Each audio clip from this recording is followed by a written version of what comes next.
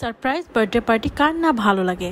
So Shahriar আমার জন্য আমার বার্থডেতে একটা অনেক বড় সারপ্রাইজ বার্থডে পার্টি অ্যারেঞ্জ করে, যেখানে ও ওর ফ্রেন্ডস আমার ফ্রেন্ডসদেরকে ইনভাইট করে। মেইন ফুড আইটেমগুলো অর্ডার করা হয়েছিল সুব্রত কেটারিং সার্ভিস থেকে, যেখানে ছিল কাচ্চি, জালি কাবাব রোস্ট আর গরু রেজালা।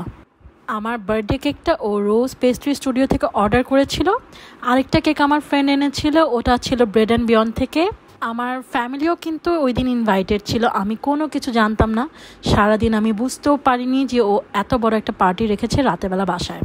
প্রতিটা গেস্টই ওদিন অনেক কোঅপারেটিভ ছিল। সবাই আমাকে হেল্প করেছে ফুড সার্ভ করার টাইম অন্যান্য কাজের সময়, আর কেক কাটার মোমেন্টটা সব চাইতে বেশি সুন্দর ছিল।